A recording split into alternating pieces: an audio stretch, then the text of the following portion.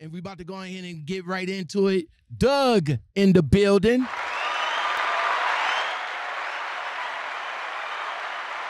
All right, man. So all right. So we we not gonna you you know we we not gonna waste no no no kind of time, man. Um, just just tell me a little bit about yourself. How long you been driving, and and what was it that got you into into trucking? Well, I started off in trucking. You know, um, when I first joined the military in 1977, I've always you know wanted to do it. You know, learn how to drive a stick you know, so I did it for my first three years in the military. And after I did it, then I wanted to go into, you know, personnel where I was more, you know, doing a lot of more things, helping people with promotions and, uh, you know, learning about being in the military, getting in, getting out, and just learning ins and outs. And so after 15 years in the military, I got out. There was an opportunity where Schneider was hiring um, you know, people in the military on a program called Gears. And what Gears was, it was like guaranteed employment after release from service. So when I got into that, that's how I got back into the trucking. And I basically stayed with Schneider 23 years. And what I did, uh, my first four or five years, I learned everything I could from a lot of owner operators and people passing me by and stuff like that. And I ended up buying my first truck with Schneider in 2000. I mean, after four years, uh, in 1996. Uh, yeah, because I came in in '92 and I brought a brand new truck, paid it off in five years, and and um and after that, yeah, and after that, I ended up um, working with Schneider, but I worked for Walmart. I mean, I'm sorry, I worked with Schneider, dedicated that had a Walmart account. And then I was kind of fascinated with Walmart then, but it was kind of hard to get on with Walmart. And so basically, you know, we lost that account we had to Werner. And then after that, I ended up uh, still working with Walmart and and uh, doing some other stuff. I'm not Walmart, but ended up working with Schneider until I ended up leaving Schneider. You know, I had got a truck with Schneider, stayed with him for a few more years, and then when I finally um, left Schneider, I, you know, worked for um, Wilson Logistics for a while, had my own truck, and and then from there, uh, Walmart ended up calling me in 2019, and uh, and I said to myself, that's something I've always wanted to do. And then it was offering me being home every day, being close to home, and medical benefits from day one, and also, you know, I could set up my retirement because here I am, you know, I can retire now in about four years, and this was two years ago. So I did that, and luckily I did. I gave up another year on my truck to pay it off to go to Walmart, and it just so happened I've been off now since June uh, last year with a, uh, with disability, and Walmart is paying everything on short term disability. Now I'm getting ready to start on long term disability and I've got a surgery scheduled for February uh, to get my first hip done.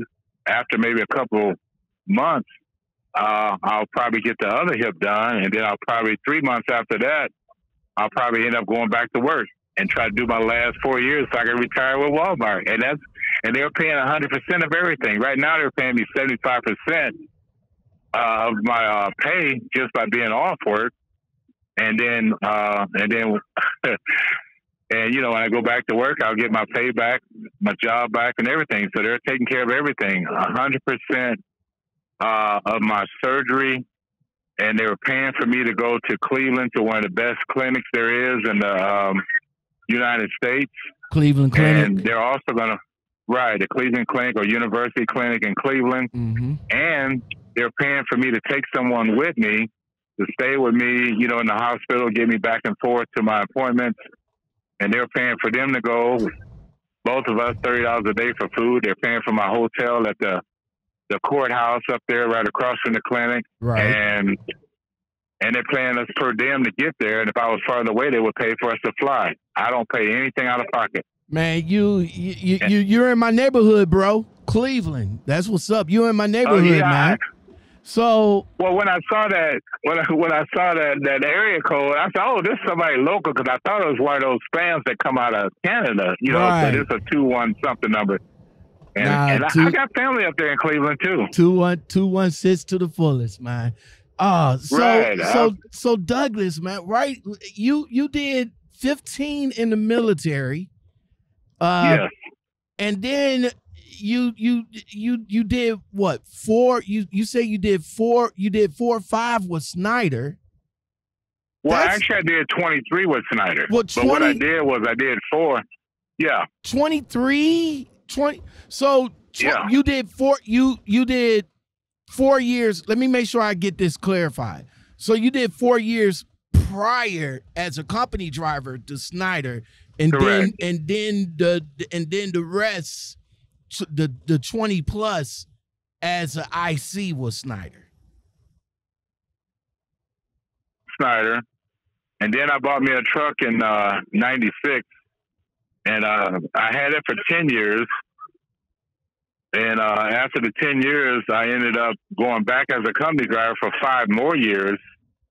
And then I had some people that were trying to buy trucks, and I was helping them buying trucks, helping them dispatch, helping them make money with trucks. And then I started seeing what they was doing, and I started doing some what if scenarios. So I ended up buying me another truck you know, with Schneider in uh was it 2012, something like that.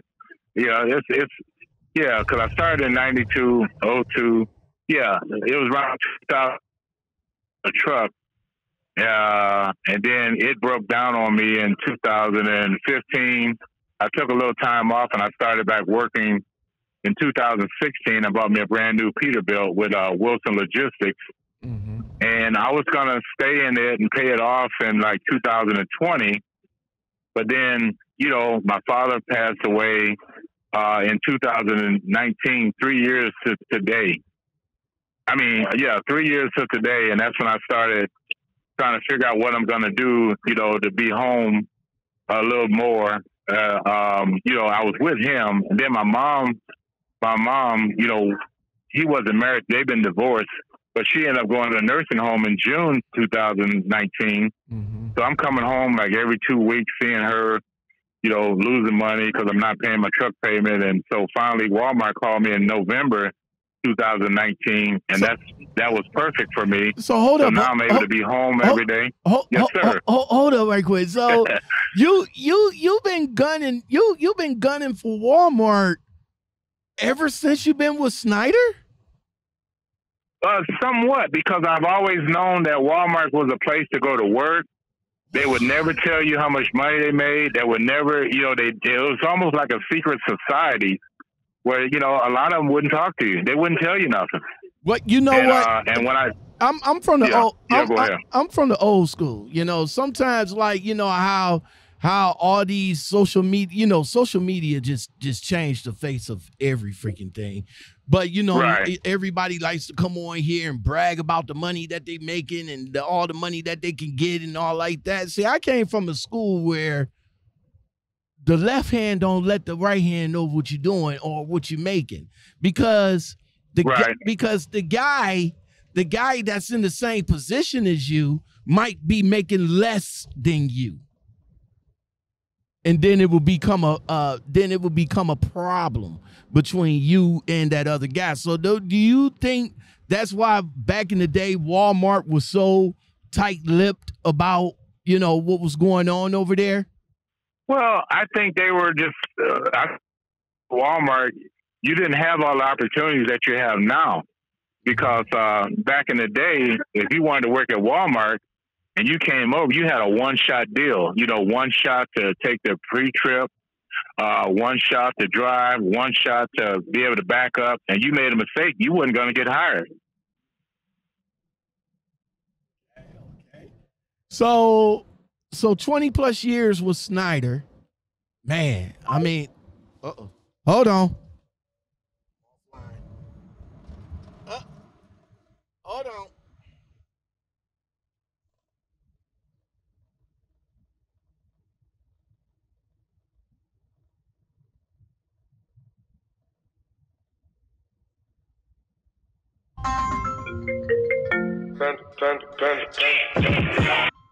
All right, sorry about that, bro. Uh went No, to a, yeah, that's fine. went through a little dead spot All right, so so with Schneider, man, let's let's jump back. Let's let's let's jump back to Schneider for a hot minute. When you started with Schneider and you stayed with them for you know X amount, I mean for that longer period of time, would it be fair to say that the money was good back then? Well, for me, the money was good, and I never had a problem. Even when people asked us how much money we were making, and we told them, people didn't believe us because when I started with Schneider, we were driving 55 miles an hour. You know, and uh, you know, we were driving 55 miles an hour. We did a lot of things, but we were getting down the road. Like the average driver would run what 25, 3,000 miles a week. Mm-hmm. Well, at 55 miles an hour, we were running about 3,200 miles a week, and people said that's impossible. But it wasn't impossible because we learned how to keep our doors closed. And, you know, like when I take off in the morning, I drive about four, five, six hours, take me a nice little break. And then the next time I drive and stop, I'm done for the day. You know, and then I have guys like when I used to go from San Antonio toward El Paso, I'll have guys going by me 70, 70 miles an hour, whatever, and I'll see them three times a lot of times they'll say, "Oh, is that that same Schneider we passed?" And I'll get on the CB. Yeah, I'm the same one. so you know they're losing an hour, you know, hour and a half on me, and I'm just keeping that, that right door closed, our left door closed. So I still, you know, can knock out 500, 550 miles in a day, um, you know, in one day. So if I did that, you know, six days, you know, or you know, or whatever, that's three thousand miles right there. Man. So yeah, it's a possibility when we're running and then you um, start running off your hours that you picked up, you know, you you can still run because we're not running a you know a whole we're not running all of our hours out a lot of times. So we're able to just kind of run and and by the time we finish everything, we've knocked out thirty two hundred miles. Man, that's what's up. All right, so let's uh jump over here on Walmart, man. Uh so uh in the beginning you got you you got with Walmart what 2019 am I correct yeah, December 2019. All right, so December 2019, you jumped on uh, with Walmart. Of course, we just got finished talking about uh, the benefits that uh, that Walmart is doing for you, but you uh, again with your post, you just you you just literally just just cracked open the door and just let everybody know from the offset of what Walmart is and what they got to offer.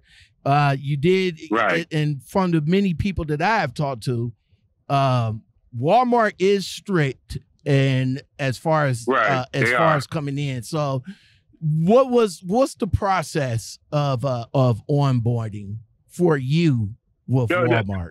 Well, the process is they call you, they interview you, they see if it's a, a what fit for you, they check your records and everything, and you know, and if everything, if you meet all the criteria, then a lot of times they'll, um, you know, they'll either conditionally hire you, and then uh, you know you got to take a drug test. You know, they'll tell you where to go to take the drug test, and um, and they'll set up some dates and stuff. You got to, you know, do this and do that, and turn this in and turn that in and then they set you up for um, going to one of their training sites. It used to be that they would do it in like Bentonville, Arkansas, and then when I went, they had just switched from Bentonville to Casa Grande. Which when I went, I'm glad they did because it was a lot better weather in Casa Grande, Ar- Arkansas.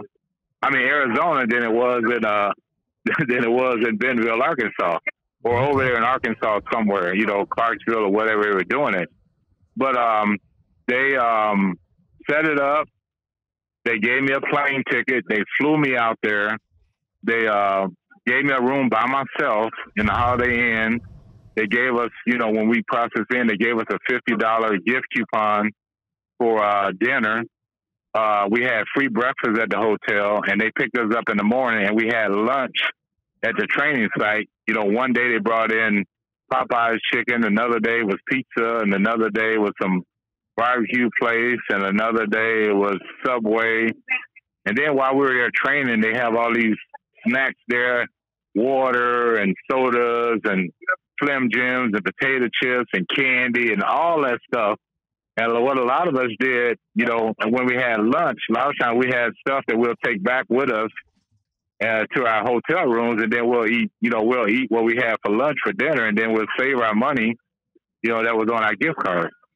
All right, all right. So that's so that was uh, all part of the all part of the onboarding uh, process. So right, you and, and it's only five days.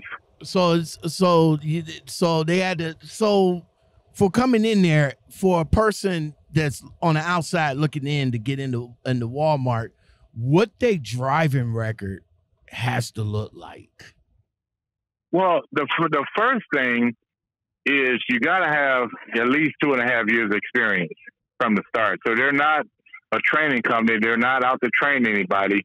They're trying to get people that's already experienced with with a real good record, and they do check you for you know, you know, you're driving right. You know, there's certain type of accidents you cannot have. Period. You know, you know some of the ones that you know uh, where somebody died or or the truck got pulled away, and some some of those whether it's your fault or not, you know, you're not qualified to come to Walmart. So they are pretty strict. Everything doesn't have to be your fault to disqualify you.